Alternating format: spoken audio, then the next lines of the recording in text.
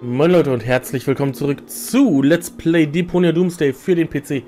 Im letzten Part haben wir hier ähm, die Goal-Attrappe ein wenig weiter verfeinert. Wir haben jetzt hier einen wunderschönen, äh, einen wunderschönen Ring am Finger. Und äh, ja. Jetzt ist nur die Frage, wie wir die Sache mit dem Selbstauslöser regeln. Ähm, denn der Finger gehört eigentlich zum Selbstauslöser. Den brauchen wir aber. Ja, ja. Den Text kennen wir schon. So, äh, kann ich mit Hammer und Meißel irgendwas tun?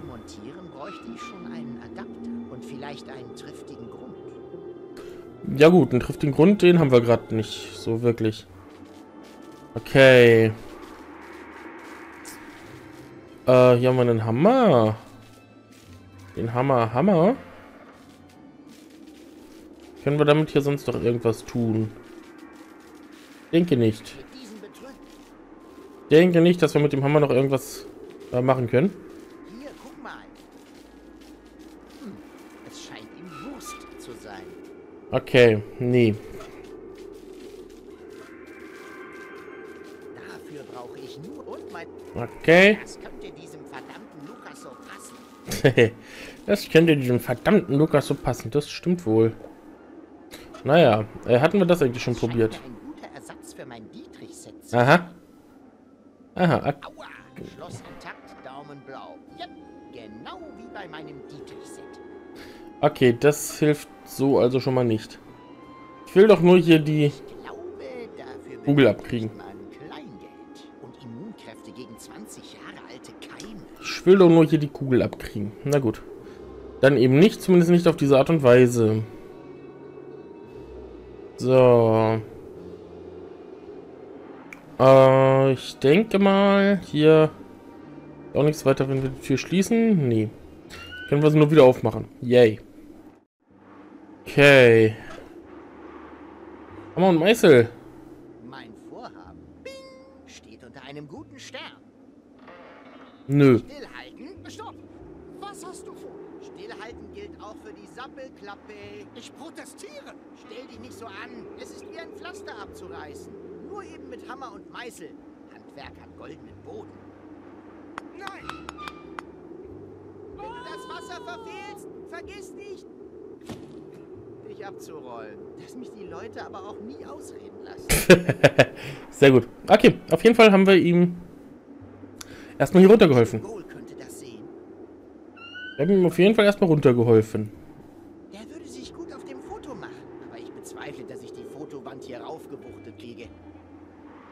Ja, das bezweifle ich auch irgendwie. Hm. Okay, aber wir gehen hier erstmal wieder zurück. Wir haben McChronicle äh, quasi gerettet. So ein bisschen, vielleicht. Was ähnliches. Ne? Reicht ja. So, hier drin. Brauchen wir da noch irgendwas? Okay, dann brauchen wir nichts mehr. Geht Chlor. Geht Chlor. Ähm. Ah, da ist er ja. Na, da schau her. Dero Gnaden hat sich doch noch bequemt, hier aufzukreuzen. Ja, wer hätte das gedacht, nachdem du mich eben beinahe getötet hättest? Das war doch vollkommen ungefährlich. Du hingst über dem Fluss. Direkt über der Stelle, wo Weber einen Damm aus rostigen Nägeln gebaut haben. Das zählt trotzdem als Fluss. Ich glaube, ich brauche einen Arzt. Tja, das Leben ist kein Grabbeltisch. Ich zum Beispiel bräuchte einen zuverlässigen Assistenten. Und nun guck mal im Spiegel nach, was ich da habe. Tja. So schaut es nämlich gerade mal aus, ne?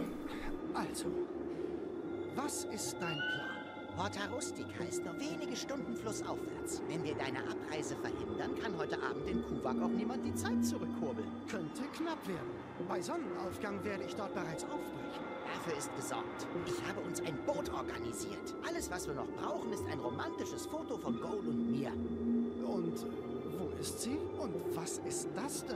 Das Casting ist Sache der Regie, okay? Du, operatest die Kamera. Und ist es jetzt soweit? Ähm. An sich nicht. Wir brauchen ja noch hier.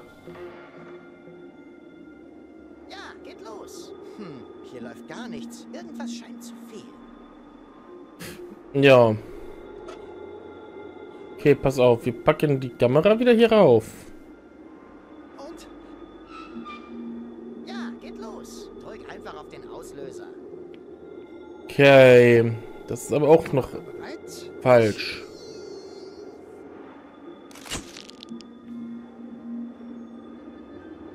Okay.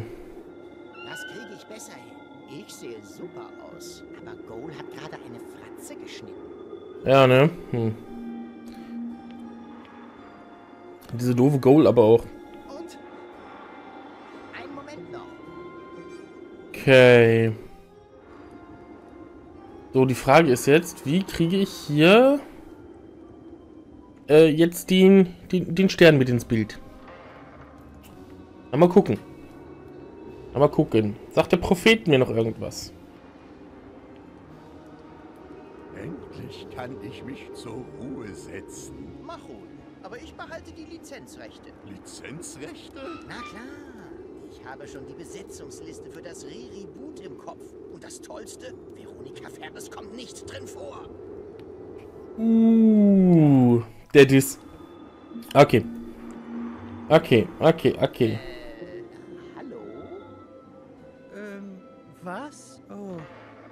Entschuldige, bitte. Ich muss kurz eingenickt gewesen sein. War gestern wohl etwas länger, was? Wer hätte gedacht, dass sie so tief in der Provinz so gute Goa-Party schmeißen? Ja, Tut Tja. mir leid, dass das mit der Vorhersage nicht funktioniert hat. Schon okay. Irgendwann, möglicherweise aber auch nie, werde ich dich bitten, mir eine kleine Gefälligkeit zu erweisen. okay. Gut. Ähm, das hätten wir auf jeden Fall. Das hätten wir auf jeden Fall. Die Frage ist jetzt, wie wir das mit dem Stern machen. Hier kriegen wir auf jeden Fall mal eine 2 aufs Lavometer, ne? Zwei von drei. Bravo. Du bist nah dran, Bursche. Jo. Äh. Zylinder kommen einfach noch seltener, allerdings, sondern Haupt. Zylinder, Okay, nee, Zylinder, noch, nee. Zylinder, noch, sondern hauptsächlich. Damit passiert gar nichts. Na gut. Deponia an Gol. Bitte kommen. Meh. Ach, herrje. Gut. Wie kriege ich da jetzt nur den Stern? Ich wünschte, Gol könnte das sehen. Wie mache ich das? Der würde sich gut auf dem Foto machen. Aber ich bezweifle, dass ich die Fotowand hier raufgewuchtet kriege. Jo, das ist das Problem. Das ist das Problem, nicht? Äh. Wie könnten wir da vorgehen? Hm. Damit kennt er sich nicht aus. Da geht es um die hohe Kunst der Romantik. Okay. Schau mal. Zeig mal. Ah, Was? Was ist? das etwa deine Freundin? Ich hoffe, ihr plant keine Kinder. Lies einfach die Zukunft, okay? Schon gut. Ich glaube, ich empfange tatsächlich ein Bild. Aber was ist das? Eine Feedback-Schleife. Schnell, nimm das weg. Nimm das weg, nimm das, nimm das, nimm das, nimm das. Okay, er kriegt hier wieder seine Feedback-Schleife. Okay, das hatte ich so nicht mehr im Kopf. Ist halt ein bisschen länger her, dass ich aufgenommen habe, ne? Äh. Äh. Tja. Und ne? Und nö. Moment. Goal-Attrappe kriege ich hier nicht mehr raus, ne? Ne, die kriegt er nicht mehr raus. Ha.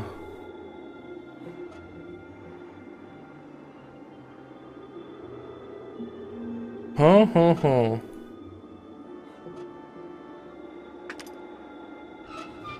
Ich denke mal, dass das schon so in Ordnung ist, dass ich das hier lasse. Ähm. Ähm.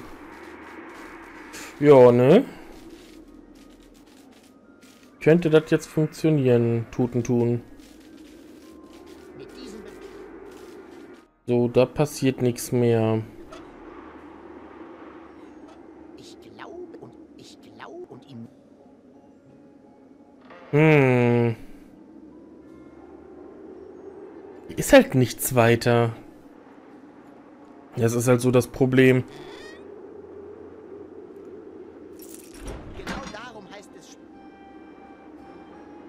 Ja, das ist immer noch nur eine Bremse und nichts weiter. Das ist immer noch nur eine Bremse.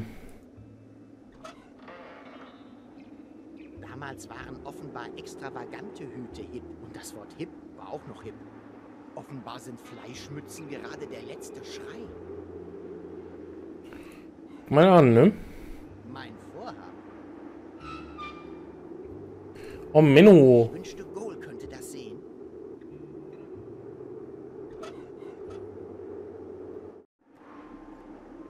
Ich habe keine Ahnung, was ich hier, äh, man hier jetzt noch machen könnte.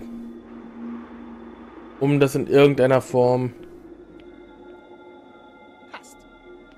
ähm, in irgendeiner Form hinzukriegen. kriege ich besser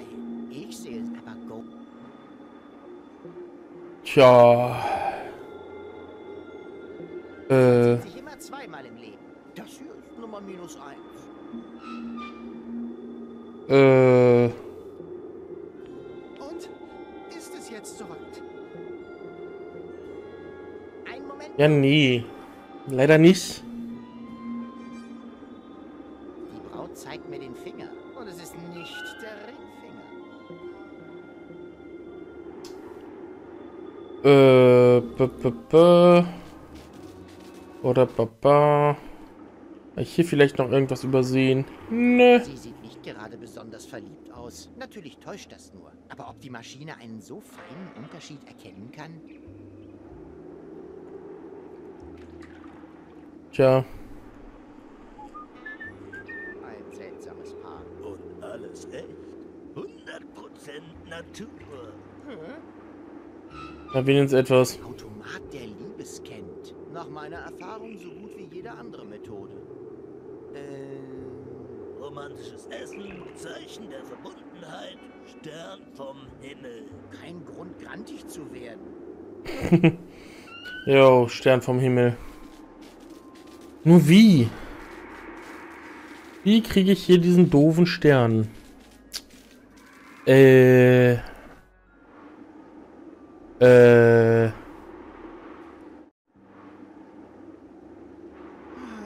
Ich wünschte, es gäbe diese Option. Ha. Ich wünschte, Goal könnte das sehen. Es, gibt halt nichts, was ich hier machen könnte. Es gibt diese Option. Was? Das ergibt doch gar keinen Sinn. Was? Hm. Das ist schon ziemlich albern. Ach, was soll's. Für die Liebe.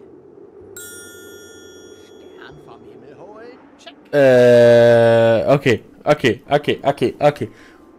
Was? Was? Komm schon, Spiel, das ist jetzt mal echt eine Verarsche. Mir wurde nicht angezeigt, dass es eine Option für einen Linksklick gibt. Mit diesem Stern, ja? Hat das Spiel mich verarscht. So. Äh, Nein, das ist meine Seite. Und mein Gesicht muss man nicht mit Tüdelkram behängen. Das spricht für sich. okay, okay, hier. An an die Goal-Attrappe. Bong. Yo.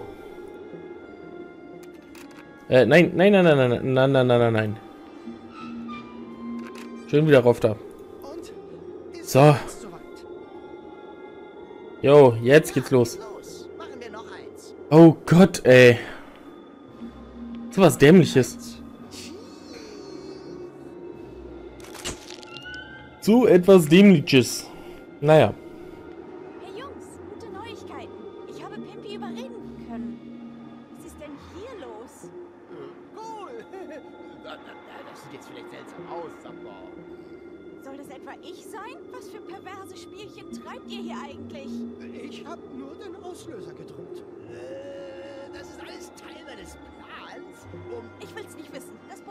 Bereit. Kommt jetzt. Na super, jetzt brauchen wir das Foto nicht mehr, oder was? Weiber, was? Mac, mach den Kopf zu.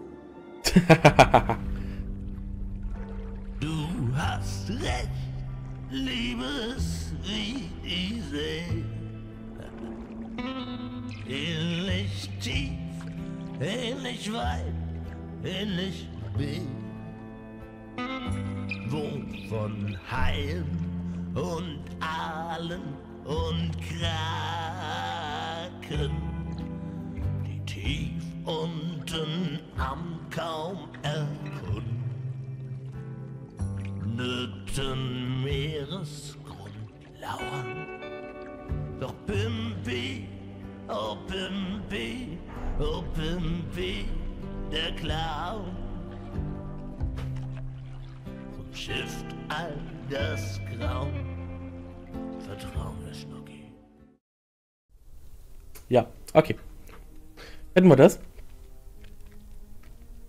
Boat of Love, Boat of Love. Schon nicht trödeln. Checkst du's noch? Wir sind zu spät. Die Sonne geht ja schon fast wieder unter. Mein anderes Ich ist schon seit Stunden fort. Ach ja? Und warum beeile ich mich dann so? Weil du ein Trottel bist. Danke, Goal. Danke, Goal, dass du es ausgesprochen hast. Wie lange haben wir noch, bis sich die Zeit resettet? Mal sehen. Auf Elysium ging die Sonne gerade unter. Wurzel aus Deponias Radius plus Höhe von Elysiums Orbit.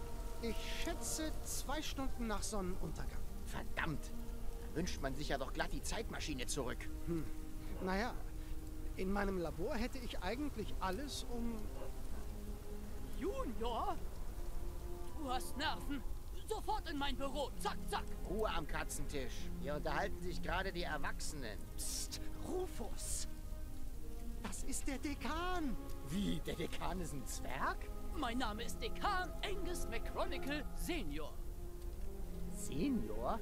Wohl eher Vize-Senior, wenn überhaupt. McChronicle hätte mir bestimmt erzählt, wenn er einen Sohn hätte.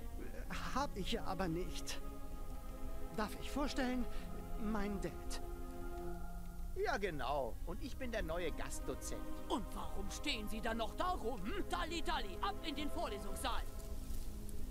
Hey, hey, nicht so hurtig. Das sollten wir erst einmal in Ruhe ausdiskutieren. Das wäre eine Idee.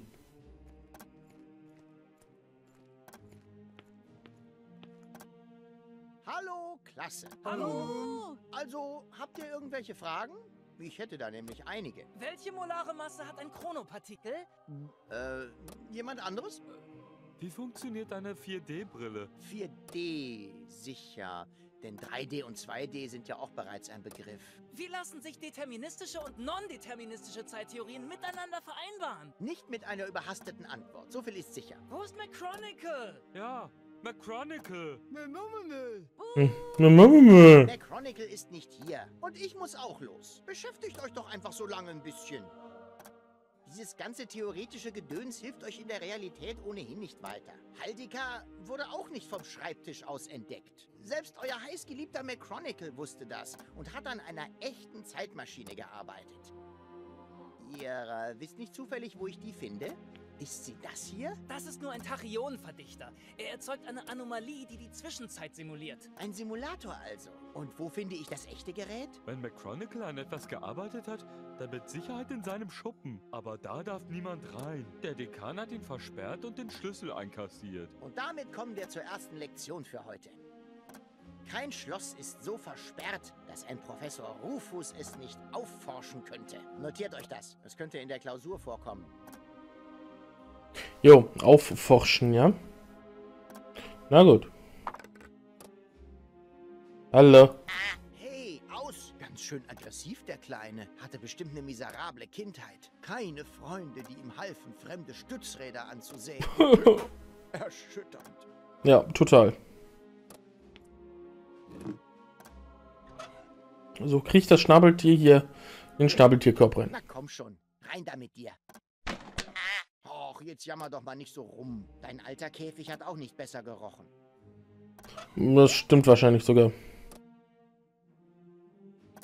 Okay, hier haben wir einen Tafeleimer. Den brauchen wir. Bestimmt für irgendwas. Vorlesungsuhr, die Studenten. Joel, hey. Na, was machst du denn hier so Schönes?